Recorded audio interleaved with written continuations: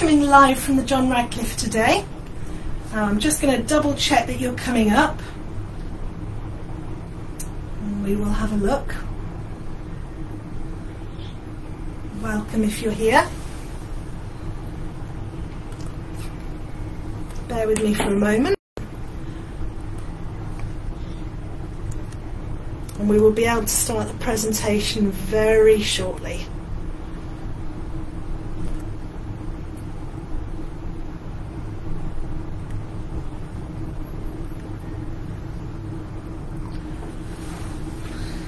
I'm hoping your viewers, if you're wondering. I'm hoping you can see us. I can see you from my end. Oh, Hi, Wendy. hi Wendy. So, aha, I can see us too. Lovely. Welcome to um, everybody that's watching. I'll introduce myself and then my colleague. So my name's Emma Rigby. I'm uh, the matron for outpatient services. Um, and I'm here, um, well, you get bored of seeing me actually on Facebook Live every fortnight, but I'm always the one asking, um, uh, passing on your questions. And then I have Anita with me today. So Anita, do introduce yourself. Hello, everybody. So my name is Anita. I am the team lead midwife for Oxford University Hospital's caseloading team. We're called the Lotus team. Um, yeah, and we provide a continuity of care service for some of the women in Oxfordshire. And we're doing something a little bit differently today. Um, Wendy Hill, who is our community matron, is actually at Witney Hospital, um, Witney uh, uh, midwife-led unit, and she's joining us via Teams and is currently on a mobile phone next to a laptop. So you may well hear her voice coming through. Uh, words of wisdom coming from Wendy. Um, but what, between the three of us, we'll hopefully answer any of the questions that you have. The topic today is community um, uh, midwife um, care. So that could cover birthing in um, the MLUs or um, com- uh, community care um, in general, um, and also things like the Lotus team. So, if you have any questions for our, our experts, I always say a panel of experts, and we do still have a panel because we have Wendy on Teams and Anita here.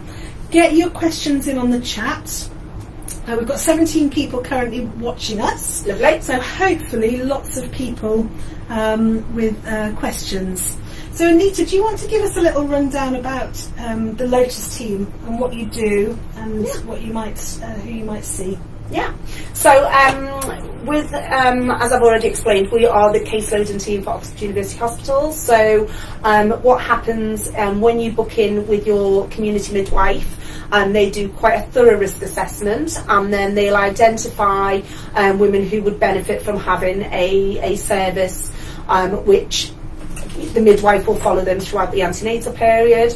Will hopefully a member of our team would be at the you know, the labour and the birth, and then we'd follow them up for up to 28 days in the postnatal period. Um, there, are, there is one team um, at the moment, um, and there are um, seven to eight midwives in a continuity team and a case loading team. We cover the whole of the county, um, as far as Brackley, Banbury, down to Didcot, Wallingford, um, Wantage area. Um, and yes, so when when we receive referrals from the community midwives, um, we look through them, we see who and which women um, would benefit from our service, and then um, yeah, we take over their care from that point on. Um, and yeah, it's, it's really really good service. Lovely, thanks Anita.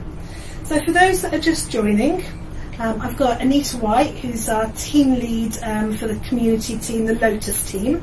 And on Teams, um, we've got Wendy Hill, who's our community matron, and she's sat on Teams on a mobile phone next to the laptop. So between the two of them, they are your expert panel for being able to answer any questions on community or um, community care, any queries there um, during your, your maternity um, journey. So I've got a first question come in. Um, so this is from Kaylee. So welcome, Kaylee. Um, she's she's asked her midwife about a physio referral because she's got really bad hips, um, and she was advised to self-refer, but she's 28 weeks and she's heard nothing. What should she do about that? Okay, so have have you actually completed the self referral and you haven't heard anything? I'm thinking she probably has because Okay. she's now she got told to self-refer and she's now 28 weeks and she was 14 weeks when she did the initial referral. Okay, so I mean, I think um, I don't know whether you've already tried to chase it up. If you haven't, then maybe that's an option. And if that's not successful, then I would go to your community midwife and just see if they can do you a referral because that is another option. Okay. Hopefully, Kaylee, you're happy with that. So just contact your community midwife and any queries, just you know, give them a shout, mm-hmm. leave them a message. And obviously, if the pain does get really bad, then you can also contact MAU if you're concerned. Lovely. So more people are joining us. Probably got a cup of tea in their hand and deciding to settle down and, and, and, and watch us. So we, we've got um, Anita, who's our community lead for Lotus Team, Hello. and Wendy, who's the matron for community, who's on Teams, joining us. So do please pop your uh, questions into the chat. I think it would be good, Anita, if you were happy to talk through what to expect from your community midwife during your pregnancy. What would be the, the the appointments you may have during during your pregnancy? Yeah. So um, when you um, go for your initial um, booking appointment with your community midwife, you should have a set of blue notes, and in there there are a couple of pages that um, that show what what sort of appointments that you would attend. Um, and what to expect at each of those appointments. So usually for your first um, pregnancy, you'll see a midwife at least 10 times in the antenatal period. Um, and for, for pregnancies after that um, it's usually about seven. Um, it depends on need. That's the minimum amount of appointments that you would expect. And they would cover things like um, screening for, for conditions like preeclampsia, um, checking the well-being of your baby, looking for any signs of infection on, in yourself, um, you know, making sure that any referral pathways that have been identified have been um, followed, um, making sure that you've got your scans booked, um, and looking at the results of blood, blood results or scan results, and just to see if there's anything further that we need to do to support you with those. Thank you. The whistle to stop tour of your pregnancy. Anything else, Wendy? Have I missed anything? Um, depends on how in depth you want to be. Yeah. Um, but I will just say that um, I think Kaylee just put another comment in the um, uh, in the chat and about Carol Maycock, who I'm actually here with today at Witney. And unfortunately, she's this, uh, this afternoon. Um, but I'll be telling her your comment, Hayley, when I see her after this session. I think we're really pleased to hear that. So I'm really glad that um, she's really helped your pregnancy um, be quite a positive experience for you. Apart from obviously the lack of physio referral, which I know that Carol will be straight on top of as Yeah. soon as we chat. Can I just check that everybody can actually hear Wendy, Yeah. please? And you Pop just it- comment. Pop a comment in there if you can hear her. Okay, let's see. We've rendered everybody speechless. so I'm hoping nobody's popped a comment in they can't hear you, Wendy. So Lovely. hopefully, I think we've got a couple of members of staff watching. Um, so if you want to pop just a little comment in, just to give us a thumbs up that you can hear Oh, Wendy, do you have that'd be amazing. Oh, Oh, yeah, thumbs up, lovely. Oh yes, lovely. Perfect. Perfect. Wendy's coming through loud and clear. That's great. Super. So yeah, so Kaylee has put a comment up to say she's got a 28 week appointment tomorrow, so Lovely. she'll follow all of that up, and she does want to say Carol Maycock has made this pregnancy amazing. Oh, So fabulous. That's lovely feedback. Lovely. Um, so Kaylee has added in another question, or lots of thumbs up now, thank you very much. Maybe we're a bit delayed getting messages through. um, so um, Kaylee's just just wondering about ten times with your first pregnancy, Mm-hmm. um, and that has quite surprised her. Do you get more appointments towards the end of your pregnancy? Yeah, so you 28 weeks, just remind me, I think you just said Yes. 28 weeks, yeah. So usually you're seen sort of around 10 weeks, um, 16 weeks, this is routinely, so you're seen at 10 weeks, 16 weeks, um, 25 weeks currently with the GP. So the 10 I talked about include the GP appointments. Um, 28 weeks, um, and then going forward 31 with the GP, 34 with the midwife, 36 with a midwife, and you also have a scan around about there. Um, and 38 weeks with a midwife or with your GP. Sometimes the midwife will see you instead of the GP. That you can negotiate that with your midwife. Then 40, 41, 42. It depends on when your baby's born. It depends, you know, on your individual need as well. But that's usually the minimum amount of appointments that we'd like to see you. Excellent. Did you want to add anything to that, Wendy? The voice from beyond. The theme of today is sort of birth centres and home birth. Um, I'd just like to sort of touch on what happens if you're planning a community birth. Um, so a community birth is sort of defined as anything outside of a hospital. Um, so for us, that's sort of the what we call a standalone MLU, so a standalone midwifery-led unit. Um, on paper, that is the Horton in Banbury, Chipping Norton or the Cotswolds Birth Centre in Chipping Norton, that's currently closed. Um, Wantage Birth Centre, that's at the Wantage Community Hospital, that's also currently closed. And the Wallingford um, Birth Centre, that's based at the Wallingford Community Hospital, that's currently open. Um, so that's a birth there or a home birth anywhere in Oxfordshire. So that's what we are referring to when we say about community birth. So you'll be asked at booking about if you've got any ideas of where you might like to give birth. Nothing, you don't have to commit to a certain location at any point in your pregnancy. In fact, you can change your mind once you're in labour. There's, you don't ever have to sort of make a final decision. But they'll start to sort of get your thoughts very early on, and then you'll sort of be questioned a little bit as it goes on. Um, if you're sort of leaning towards one or the other, and then we'll start to sort of tailor your care towards where you're planning on giving birth. So, for example, at the 36 week appointment that Anita's already mentioned, if you're planning a home birth, we'd actually do that appointment at your house. So we can do um, a sort of assessment with you, sort of uh, educate you on what equipment you might need and what we provide, what you might need to provide, um, any logistics, things like parking, lighting, um, finding your house, because if you have to find a house at 3am, obviously we want to know that it is really easy to get to or if there's something we need to know. Um, so you might find that your care is slightly different if you're planning on giving birth in a certain area, but it's all just tailored to you. So we do try and uh, individualise it. Um, and if you sort of want to start thinking about a birth, it's sort of in the third trimester. So this is sort of 30-ish weeks on um, that you might want to sort of start laying a bit more uh, concrete plans, and then we can give you sort of tours around the.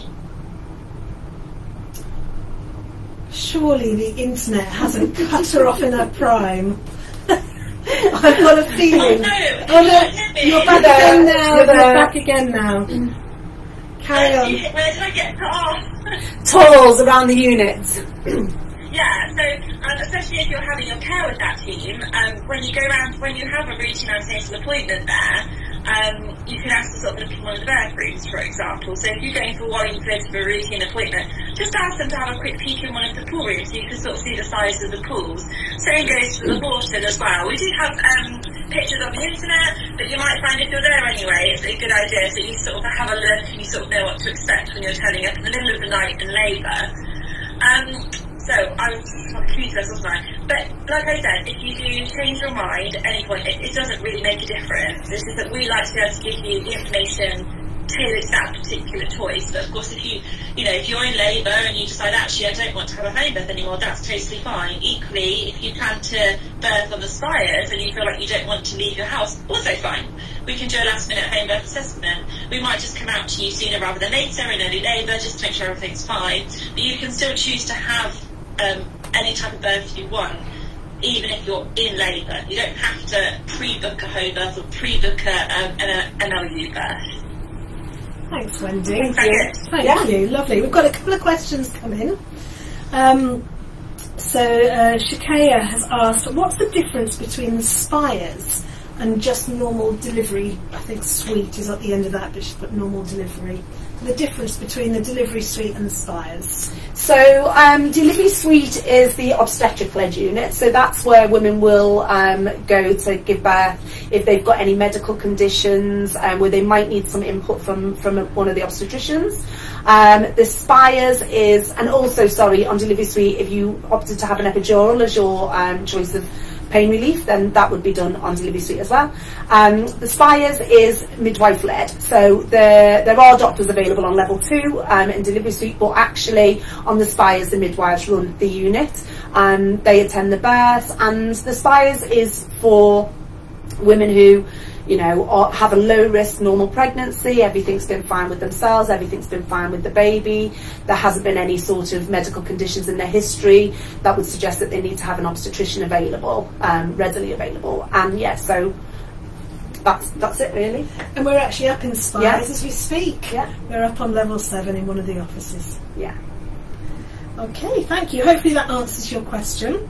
And Kaylee has just asked about um, any. Um, uh, so, can you have a water birth with a raised BMI?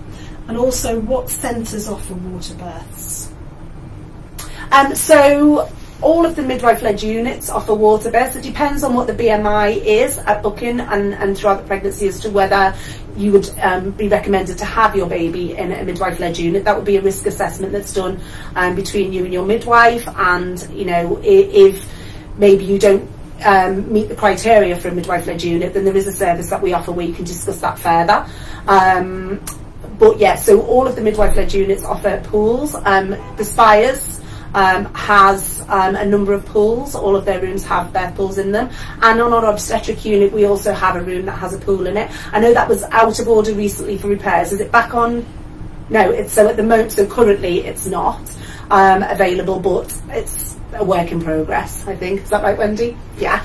So, um, but yeah. Um, so again, it's all about risk. It's about you know what's safe for you and your baby, and um, and having that thorough conversation with your community midwife or maybe with an obstet- you know obstetrician if you if you've got one um, and having a real good plan put into place for your birth um, so what else was it Emma sorry you said So that was it. Which centres offer the water birth? Yeah. And can you have a water birth if you have a raised BMI? Yeah, so raised BMI, yeah, again, it's about um, what what would your be what is your BMI and the um, you know a plan is put into place. Even if even if you you know you don't meet the criteria for, for a birth pool, there are things that you you know there are discussions that you can have around that um, with with various professionals um, and just yeah put a real good birth plan into place to make sure that um, you know you're safe and, and your birth is as good as it can be. Thank you. I hope that answers that. Is that right? Lovely. Did you want to add anything to that, Wendy?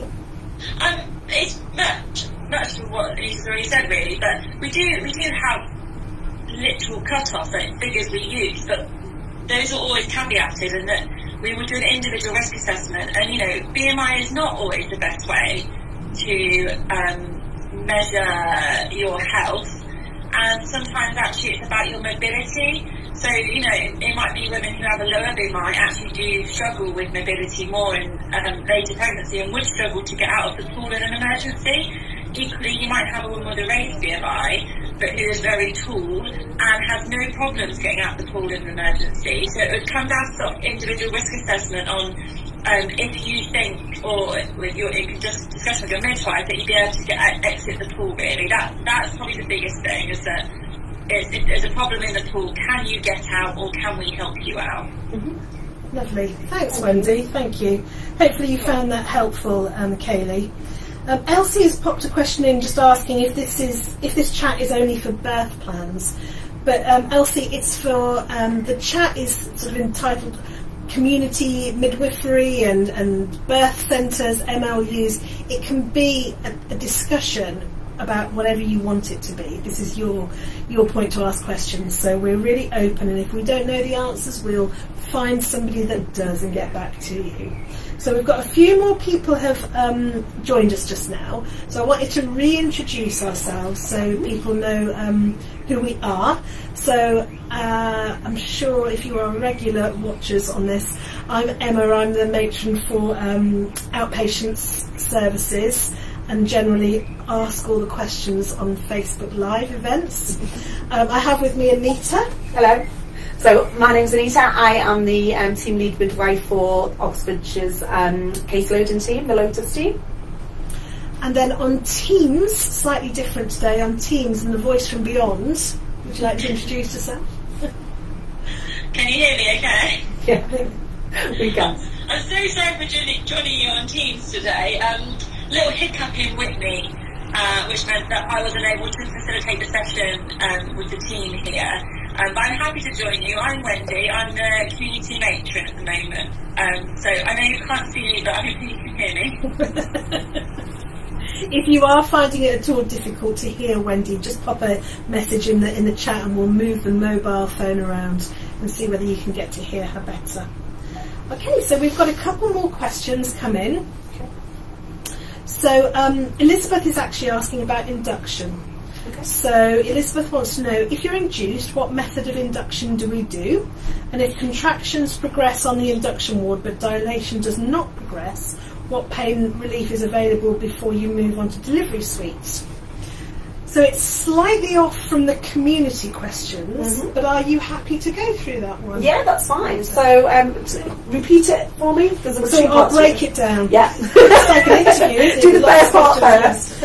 So what method of induction do we use? Okay, so um, my understanding is we've recently gone back to the Prostin gel method of induction. So we were doing Prostin previously, that changed to a catheter, um, and now we've gone back to Prostin. Um, so that's the method that we're using currently. Okay. Yep, lovely. And that's for that's for most women, but it could be under discussion if you have any queries about your induction. Then chat to your community midwife or um, the obstetrician that's discussing with you about induction. So, Yeah, I think I think the catheter is still available for some women, isn't it? But again, it's individualised. Yeah, Post dates, multips. Yeah. Okay. Uh, translate that for me. so if you've had a baby before and you've gone past 42 weeks, is that right? Then you can have a catheter still. yeah, 40, Yeah. 41 and plus. Yeah. 41 and 3, yes. Yeah.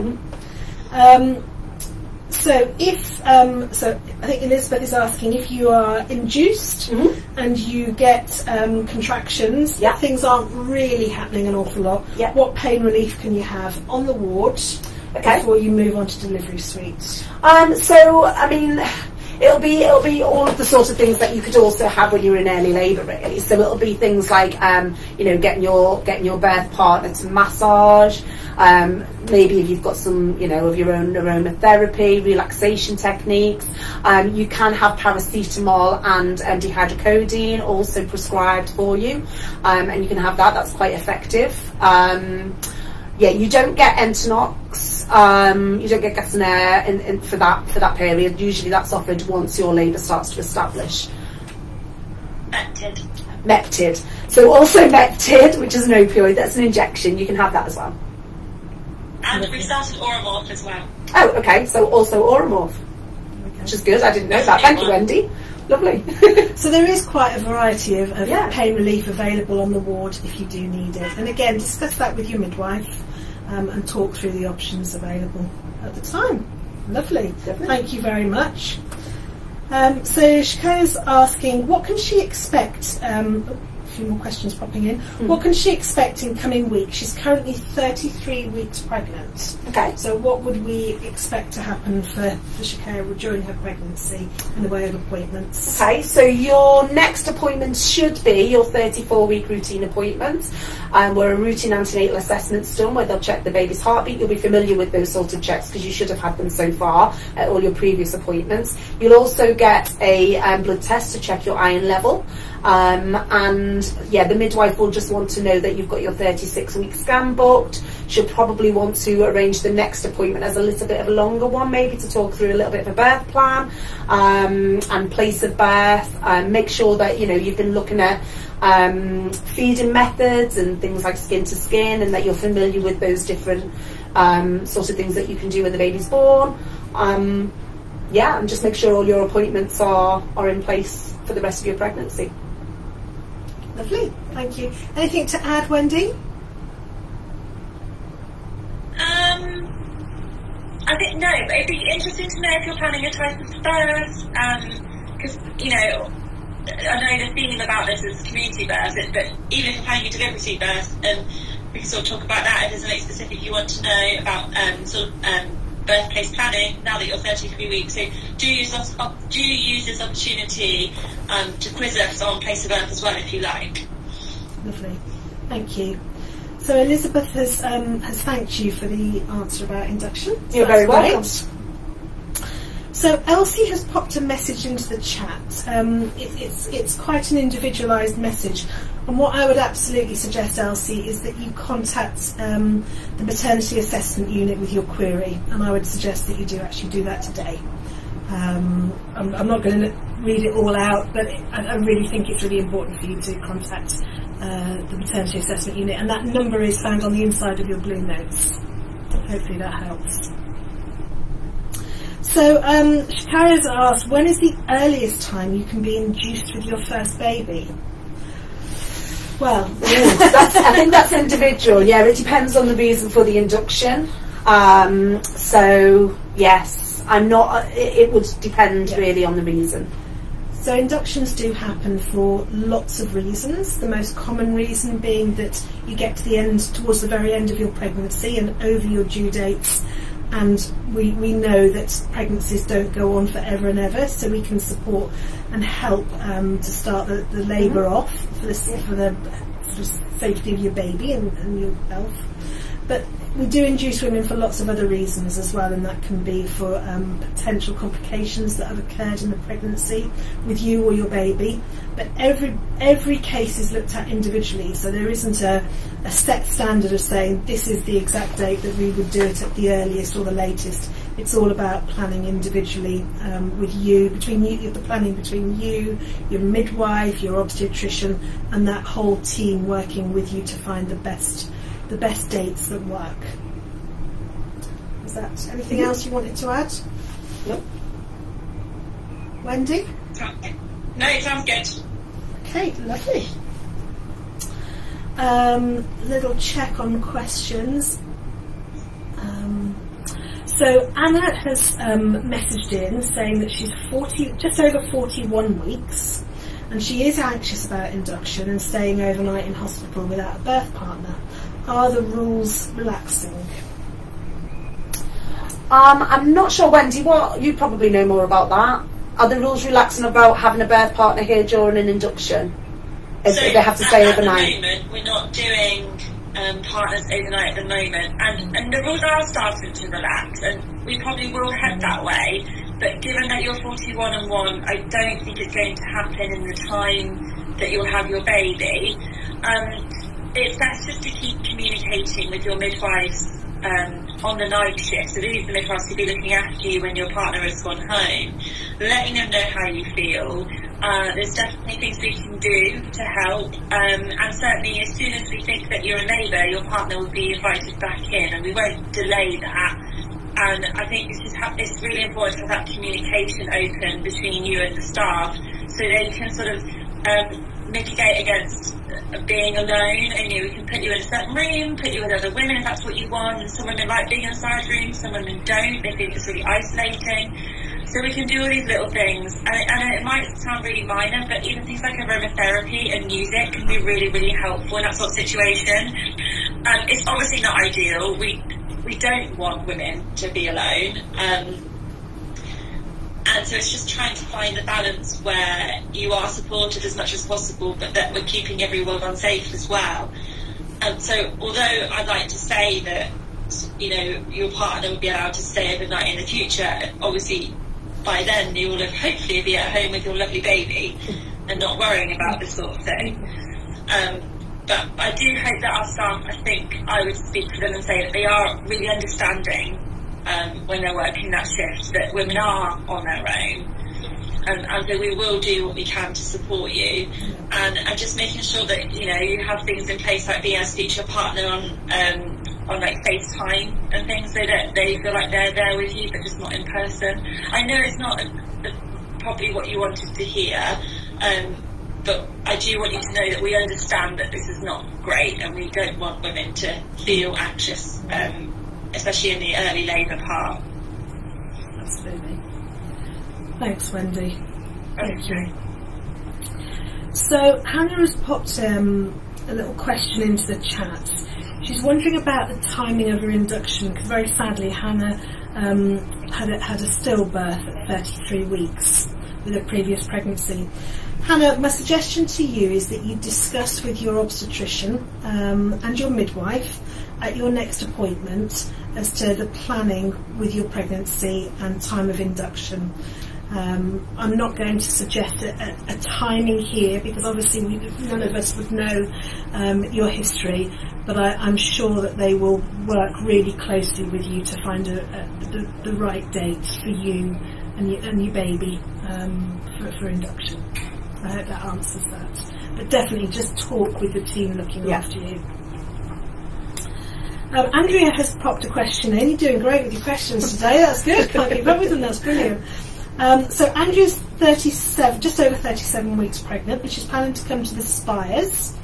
Um, and she was just wondering, once she starts getting contractions, based on advice, once they're five minutes apart, lasting one minute for an hour, where should she ring? Should she ring the Spires first and then head over, or is there something else she should do? And then she follows up by saying it's probably a silly question, and it's not in any way a No silly question. thing. No such thing as a silly question. Wendy, are we still there? Our screen's gone blank. Yeah, I, I, I, can you still hear me? Yeah, I can still hear you, but are we still on? Are we still on? Because our sc- we've gone to the desktop. Yes, it's still live. Oh. Okay, bear with Okay. us for a moment. with, yeah. Yeah, you're definitely still live. I can see you. We just can't see. So I, I mean, I can answer that first part anyway. So yeah, when you when you're, and it's not so much. Anita, mine's saying that uh, you've lost signal. Oh, Okay. Yeah. Bear with us a moment. Ah, Are we there? we're hoping that we'll be back on in a moment. I know there's a short time delay. Yes, you. We're back Okay, on. sorry about Lovely. that. Sorry, everybody. Should we just go through that question again in case there was a little bit of a. Mhm. So Anita's just, uh, sorry, Andrea is just wondering if when she goes into labour, she's planning to birth on the spires, and once she starts contracting, who should she contact? Should she just come straight on in, or phone the spires, Yeah. or what should she do? Yeah. So um, so what you want to do is you want to call the spires. Um, and hopefully um, they'll be able to, to talk to you over the phone and try work out what's happening and whether it's time for you know you to come in or whether you could stay at home for a little bit longer. And that's a real thorough triage that they'll do with you to figure that out.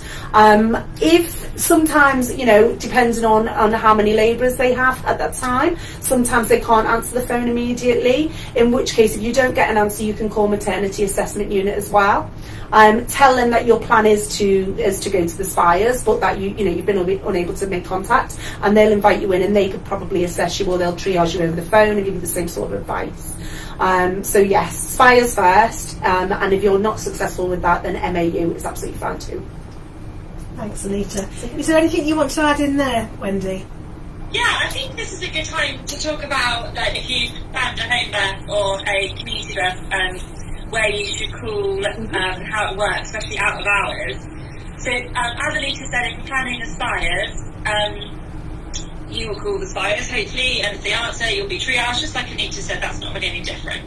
Uh, if you are planning a home birth, you would generally call the Wallingford number, and this will be part of your home birth assessment. Is they'll give you this number to call, and it is a number that is um, open 24/7, and it's staffed by um, a, a maternity support worker.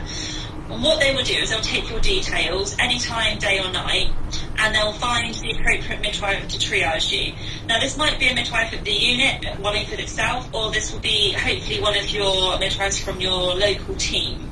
So if you're planning a birth in Witney, as I'm in Witney today, um, they would reach out to the on-call Witney midwife, and that Witney midwife would then call you back um, at home, and they would triage you over the phone. If they think that you need to be seen, they'll um, arrange arrangements to come out to your house and assess you. And if you're in labour, they'll obviously stay with you. Um, if you're planning a birth centre birth, it is much the same.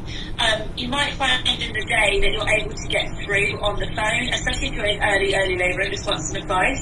Um, it can always be worth trying the unit if you've got no concerns, but don't hesitate if you don't get a response to then call Wallingford, who will be able to find an on-call midwife to speak to. Um, so either way, in the day, I I always end up calling Wallingford, but you might have some luck getting through on the unit itself. But certainly out of hours, if you're planning on giving birth at home or in any of our standalone midwifery led units, definitely start by calling Wallingford, especially at night. Does that make sense? Lovely. Thank Thanks, you. Wendy. Can I just touch very briefly on another part of that um, uh, question, which was about when to call? Um, and I think you said when your contractions are coming every five minutes for an hour, was that right? Okay. So I just wanted to touch on that because that, that's not absolute. Um, you know, all women are different. Um, and it's also about the, you know, what, what I don't want and what I've seen before um, and what I think is, is not beneficial is when women um, are thinking that actually it's when they're every five minutes and then all of a sudden they'll get one you know, that's three minutes, one that's four, one that's two, and they think, oh no, the midwife said ring when it's five minutes, so I've got to go in now. And sometimes women can get quite anxious about that. So it's it's almost about the pattern as well. Um, so you know, don't don't worry so much if you start to have contractions that are coming a little bit more frequently than five minutes, because if they're if they're still a little bit random, then that's absolutely fine. And just again, call the midwife, call the, the unit that you're going to, and have a chat to them about it. But don't worry about it. Thank you. I hope that answers your question, Andrea. And, and Andrea, as I said, put at the end, it's probably a really silly question, but there are no silly questions. No. This is why we do these chats to allow you opportunity to ask any question that you want to. And please be reassured, we've probably asked them ourselves along the way, and we've certainly heard every question most Yeah. times. There is no silly question. Um, and Andrea says thanks you for your answers. You're so that's great. So I've got um, Bex who's come up. Actually, what I might just do because we've had quite a few changes of numbers of viewing people. Um, so I'm wondering if some new people have joined us. So I think it'd be worthwhile just reintroducing ourselves so they know um, why they can see two people and hear three. so I'm I'm Emma. I'm the um, outpatients matron uh, for maternity, and um, I am the um, person that's always asking the questions on here. So you're probably very used to me. And then I've got Anita with me. Hello, I'm Anita. I am the team lead midwife for our caseloading team in Oxfordshire called the Lotus team. And on Teams currently, on a mobile phone propped up next to the laptop, is Wendy Hill. Wendy, Hello, can you all hear me? My internet's a bit. I'm actually in Witney Community Hospital with Witney midwives today. Um, so my internet's not as good as it would be if I was at the JR, um, but needs must. Um, so yeah, I'm Wendy and I'm the matron for community. So we've got the opportunity today um, for you to ask our, our experts anything to do with community midwifery, birthing in MLUs or home births, or really any question that you want to ask um, about your pregnancy or delivery or postnatal period. We will do our very best to answer, but if we don't know the questions, we'll find someone who does. Okay, so we've got Bex who's come in. Um, Bex is asking, are there any forms of induction which you could have on level six and still go on to labour on the spires if they were effective? Yeah. So I think off the top of my, I haven't worked in induction for a while, but I think um, with the um, Prostin gel, I think if you've had one Prostin gel and then um, and that works, and that's absolutely fine. If you have one Prostin gel and then they're able to break your waters and that's successful, I think that's also fine. Um, if you have two Prostin gels, um, then no, you would have to go to the obstetric unit. And if your labour doesn't establish, so this is about established labour, not so much just having contractions, and your labour needs to be established really um, for you to be able to go to the spires after having your waters broken or one gel. Could you explain what established labour is? okay. Thanks. so, and, and this is, is, is something that actually I really get quite passionate about. So if I go on, please stop me. so, um, so it's why I sort of touched again on this whole contractions every five minutes thing because, um, you know, there are there are different stages of labour. You should go through this with your with your community midwife, and if you're able to access any antenatal care, this should be covered also there. But I can definitely touch on it briefly now. So early labour is um, called the latent phase of labour, and that is where you have quite a lot of cervical change um, as well as as well as the cervix opening the first few centimetres. Um, and during that time, you will have, um, you know, some uterine activity. I'll call it contractions now, but um, some other people call them different things. Um, but I'll refer to it as a contraction. So you'll have some some sort of contractions, but they're quite random in their pattern. You know, they might last 20 seconds, 50 seconds, 45 seconds. They could be you know, three minutes, then five minutes apart, then seven, then two. They're really, really random, but they can, you know, they can um, cause you some discomfort. And so some women, you know, if they've been told to call every, when they're every five minutes, and like I said, you get this sort of pattern of coming every three, two, five, um, and you know, and they're, they're uncomfortable, then if you've not had a baby before and you're not familiar with that feeling, then it can be a little bit confusing, and you can think, oh, you know, is this, is this, you know, am I in labour? Um, and what I've found in, in the different departments that I've worked in where I've triaged women who are um, in early labour and established labour is that they get quite disappointed when they come to the hospital. They present thinking that things are happening and then the midwife will do an assessment and, you know, the cervix will either not be open or it'll, you know, be open a centimetre. There's still quite a bit of time to go. Um, and that can be quite disheartening for women if they don't understand um, and, and partners if they don't understand what that means and what it is is you know these random contractions that you've been having are changing your cervix. They are doing something. They're not just opening it. Um, and and sort of knowing knowing that can just you know it can just help you to sort of think okay. You know, the, these uncomfortable um, feelings I'm having in my uterus are actually affected. They are doing something. It's not just about cervical dilation. Um, when your cervix has has changed, and by that I mean it gets shorter, it gets thinner, it gets softer, it changes its position and um, where it is when, while that's happening, you're having these random contractions. When your contractions become more consistent, and by that, you typically, it's not for everybody, typically about three contractions in 10 minutes, lasting a good minute long, all of them, and having the same sort of interval between them. So a real consistent pattern. Um, usually, um, you're about four centimetres dilated at that point, three, four centimetres, and, and that's when we say that your labour's establishing. And early labour can be very random, like I said, so it can, it can stop and it can start, so we don't you know, we don't admit everybody in early labour because it can last for days and you don't want to be here for that amount of time. You want to be at home in your own environment where you're comfortable and it's familiar and your oxytocin will work better. But when your labour starts to establish, then that's when we would say, okay, come on in if this is where you're going or the MLU or if you're at a home bed, the midwife will come and give you one-to-one care. So it's really, you can access advice in early labour, but you wouldn't really get one-to-one care because we're not going to do anything for you at that point that you can't really do for yourself at home by that, you know, paracetamol, a bath, whatever. Um, but when you're getting into established labour, real consistent, strong contractions, cervical change from four centimetres and above, you'll get one-to-one care from in whatever environment you're in at that time. Does that does that answer oh, that question? Absolutely marvellous. Is it? I get a bit I get a bit carried away. It's really it's so passionate. I had, wonderful. I had my children before I was a midwife, and I had the early labour, established labour talk a lot of times with my midwife. So. Perfect. Okay. I'm sure everybody absolutely appreciated it. Wendy, do you want to add anything to that? I don't think there's anything to add. It's amazing. What do you add to that? You can add nothing. You can add nothing.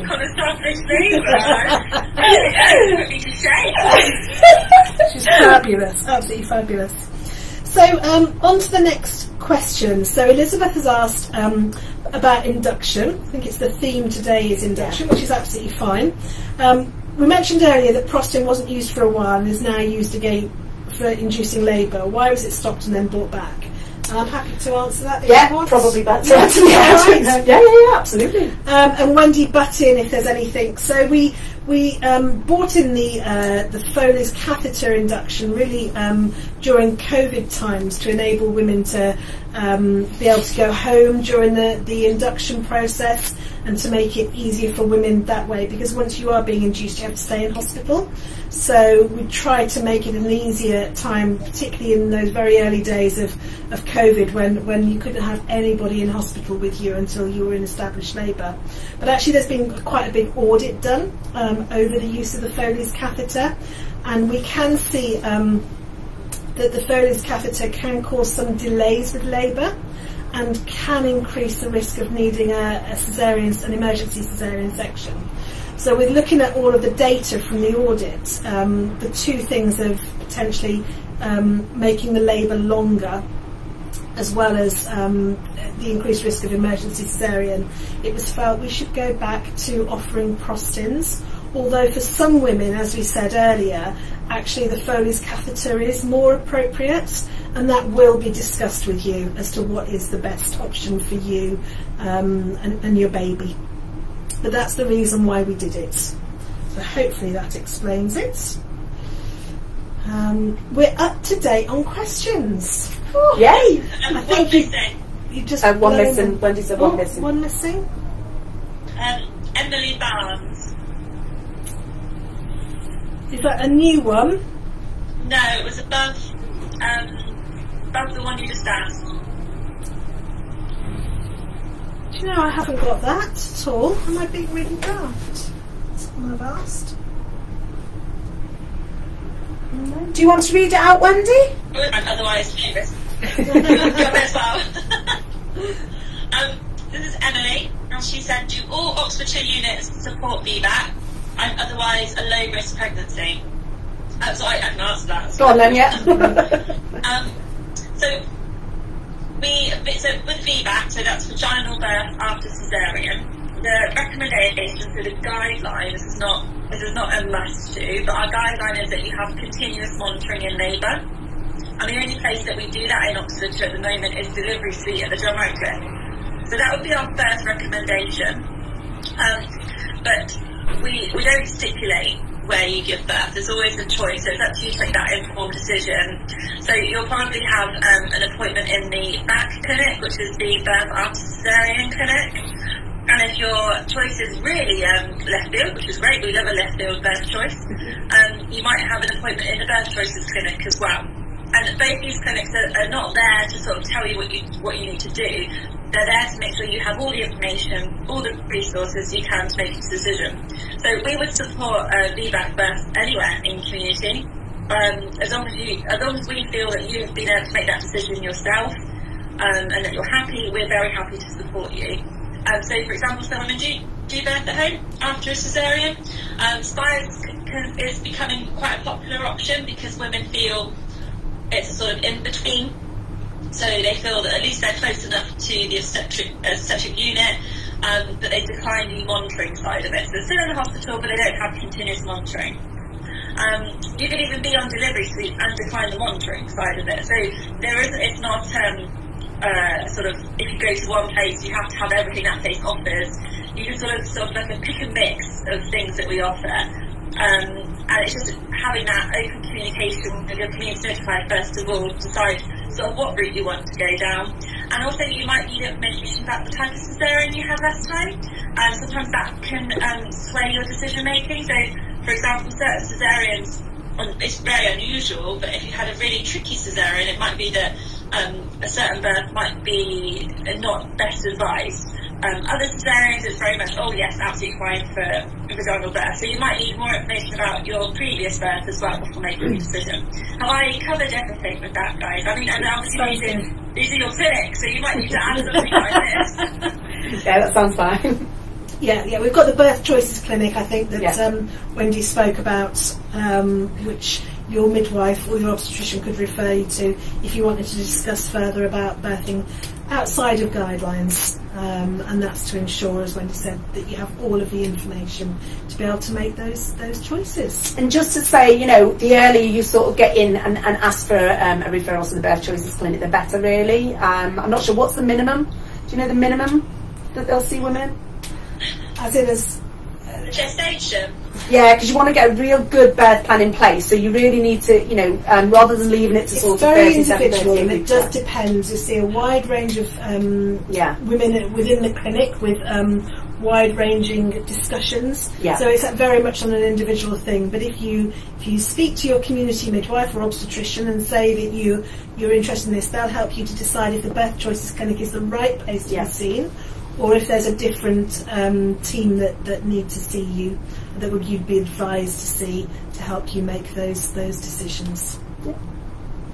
Okay, I've just refreshed my page and I'm seeing all the questions now. um, so we've got some thank yous. So Andrea has thanked us for the advice earlier, um, as has Bex, as has Elizabeth, and also Emily. And, and she, she's made, said that it's great to have the reassurance. So that's really good. Good, lovely. So we're on our last few minutes. It's flown by today, actually. Yeah. Helped by all the questions, so thank you. So if there is anything else that you do want to ask, this is your time to get your question in because we will be closing the chat down shortly. Um, but I think what we'll do is we'll go um, around the panelists, put them on the spot, and ask for what would be a bit of advice you would like to give to the people that are watching and listening. Oh. I, I, I mean, I think uh, it's very difficult at the moment because we're not able to provide antenatal education um, from your community team at the moment. Um, but if you are able to access that in any other way, and that's accessing these chats, whatever, you know, any sort of reading you can do yourself. Um, I just think antenatal education is really, really important. Um, and yeah, um, there are lots of ways you can access it. Um, and just yeah, yeah, really just you know have a read about what to expect and what to bring to the hospital. Um, you know, again about these stages of labour, um, about the postnatal initial postnatal period. Just just really yeah, access some education. Lovely. Wendy, over to you. Bit of advice. Um, I'm really passionate about community births. I love promoting home births and births in our um, community units as well. So I think my advice would be um, to have an open mind. Um, home birth is not for you know the the very few who are of a certain mindset. It's open to all, and it can be an amazing place to have your baby. And so my advice would be to go have a little read about home births, have a read about birthing in community in general, speak to a community midwife, watch a few videos on if you can on YouTube if, if that's if you think you can bear it. They're actually magical. I do promise that. Are. Um, and just sort of think about what it would mean to have your baby at home. And the one little thing I will say is that the community midwives will clean up after you. so it, you know we don't leave you in a mess. Promise. We do take all our rubbish away and we clean your floors. I remember as a student midwife cleaning someone's carpet before leaving. so I I do now. My hands and knees cleaning the carpet. Yeah, me too. We will do it. We won't leave you with a mess. Thanks, Wendy. I think my bit of advice good. is probably one that I give out every week, and I, I don't bore of it, but I don't tire of it at all. It's it's always ask the questions you have. They are never silly. They are never daft. Ask your midwife. Ask your obstetrician. Ask any of the healthcare professionals. You'll hear a lot of. Um, birth stories between friends or online or on TV programs um, that actually get get the real truth uh, from the professionals that are looking after you. Um, so never be afraid to ask any question. And second to that, if you have any worries or concerns, just contact MAU or your community midwife if it's within hours or, or non-urgent. Um, don't ever feel, well, I'll just wait and see. It's worrying me, but I'll wait and see. MAU is a 24-7 service and the midwives there will talk you through things on the phone or invite you in if you need to be seen. But that's what they're there for, is to um, support you and help you. So use them. Um, that's my, my little bit of um, advice. I And think. one of, one of the questions to ask on that, going back to my little early labour bit, is if you do go in and you are assessed, um, and they tell you what your what how how dilated your cervix is, ask what else. It's not just about dilation. Ask what else. What else is my cervix doing? Because that's really good to compare, you know, the, at the next assessment and sort of get a good idea of, of you know how your body's changing. Lovely, thank you. Well, I think we've probably come to a natural end, a few minutes early, but we haven't got any further questions. So I think if um, Wendy, Anita, are you happy that we Yeah. bring this to an end now? Yeah. Yeah, lovely. I'd like to thank everybody for filling the hour with so many good questions. I'm hoping that you found it um, helpful, and we look forward to seeing you in two weeks' time. Bye. Take care. Thanks everyone. Thank you. Bye, Bye. for now. Bye.